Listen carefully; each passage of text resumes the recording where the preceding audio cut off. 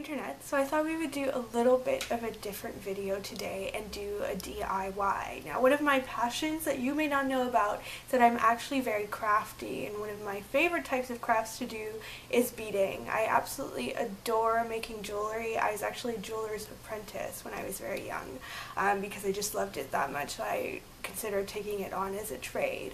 Um, so today I just do it for fun and one of the things that I've been making recently are malas. Now, malas are becoming more and more well known. I actually found out about them through taking up yoga, and my yoga instructor was talking about about them, so I started researching them. They're very expensive to purchase, so I thought I would share with you how to make one. So here are some that you can see. I'm wearing one right now. This one has um, Tibetan seed beads that it's made of, and then um, a lapis lazuli pendant in blue. And then this one is a jade one um, with some dark mahogany wood and some um, Tibetan beads as well, and then some green beads um, as accents. Malas aren't just beautiful jewelry, and I think they are very attractive. They have that sort of carefree vibe about them, and they're very colorful, but they also have a spiritual meaning. They're supposed to have um, 108 beads because 108 is supposed to be a very spiritual number. It's 9 times 12, which are both important numbers, and 108 is if you add the 1 and the 8 up, then you get 9 again. And then apparently the diameter of the sun is 108 times the diameter of the earth. Apparently also the distance between the earth and the sun is 108 times the diameter of the sun. So it's a pretty special number in astrological terms as well. It's really fun and makes the necklaces all that much more interesting and fun and more of a talking piece as well. And I've just really fallen for them, so I thought I would share with you how to make them. So without any further conversation, let's get right into the craft project. So here is what you'll need to make your own mala. Um, you'll need some wooden beads. Now you can use the Tibetan seed rounded beads like I have for this necklace. You can use some mahogany beads. These are about 6 millimeters. Or you can use what we're about to use. These are white wood and these are 8 millimeter round beads in just a true white color as they come. I really like to have them untreated because then they have that beautiful matte look that just makes a necklace look that much more authentic in my opinion. One. So in addition to the white wood beads, you'll need a pendant. So this is the one that I've created for this particular project. You can see that it just has a metal stem like this and then some pewter accent beads. I don't count these in the 108 uh, mala bead total because I considered them to just be accents.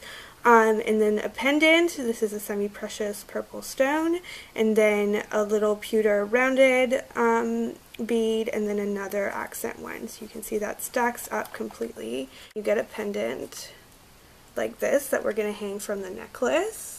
And then in addition to that, you'll need some purple accent beads. It just really adds a beautiful element to the necklace to remember the pendant. So you'll have two on each side higher up. Here I have some faceted amethyst and some raw polished amethyst as well, as well as some more of those pewter accents you can see there right here and then some smaller darker amethyst as well and then you have those again here. For tools you'll just need some cutters and some pliers. You don't really need anything more than that. You could probably even get away with scissors if you don't have any cutters but you'll definitely need a good pair of little pliers and then you'll need some jeweler's wire. I really recommend using this type of string because it never breaks on you. Um, so just go into the store and ask for flexible jeweler's wire. You can see it's coated metal and I find that it gives a really good shape and weight to the necklaces. The very last thing that you'll need, I don't know how well the camera is catching these, these are just little silver crimps so you're going to squash these at the very end to seal the necklace so they're extremely important that you get some good ones and have those on hand because knotting this necklace is really not going to cut so it. I got 40 inches of jeweler's wire. It's actually way too much, but I like to have extra. And the first thing we're going to do is we're going to tie a knot at the very end to make sure that our beads do not go everywhere. So just tie a really loose knot that you're going to end up undoing after. And then we're going to cut open our string of white wood. So just take off the end bead. We're not going to be using that for this project at least. So I'm just taking these off the string right now and placing them on my design board. Um, having a design board for beading is certainly not an essential, but because I do quite a lot of beading, I really like having one and it is pretty useful if you have a pet, especially a cat that enjoys playing with beads, to have something to keep them organized so that he cannot get his paws on them. Right, so I have my design board set out now, my wires knotted as I've already showed you. We could count these together, but I will not bore you with that. There are 108 beads plus accents laid out here, and so now that I have my plan set out, I'm just going to start stringing these. And so you just start stringing these until you've done one half, just one after the other, and they don't need it need to be knotted or anything like that. So this is a really simple project actually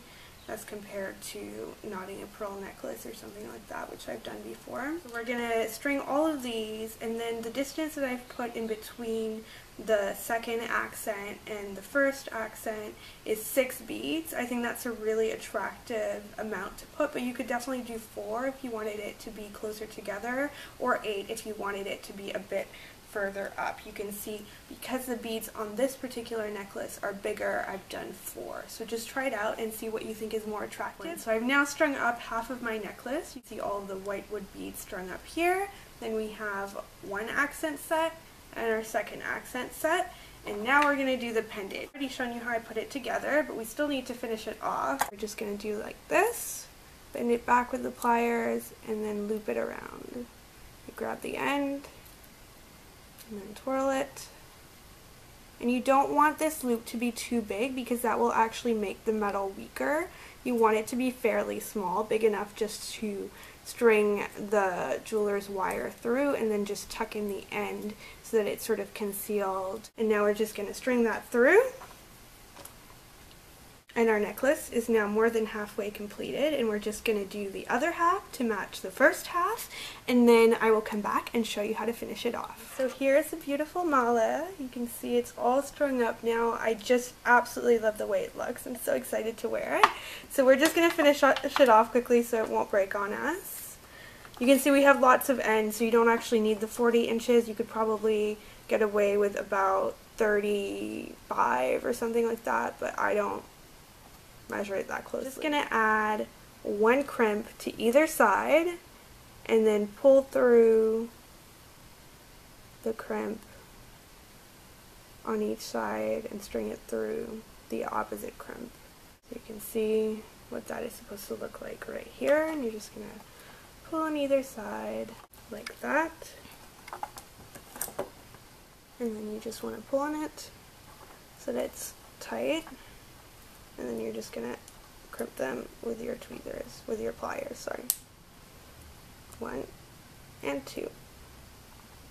And make sure they're really nice and flat and really hugging that wire so that it doesn't budge on you. You just want to trim as close as possible with your cutters. You can see the nice, neat little closure that that gives you, and that, to me, in my experience, is always really secure. Is our beautiful amethyst and whitewood mala. I just really actually love the way it turned out. It, it just is amazing to me and so much fun to make your own jewelry because you can never be 100% sure how it's going to turn out, but it's always very exciting, and I definitely get a sense of pride from making my own homemade jewelry. So that is it and thank you so much for watching.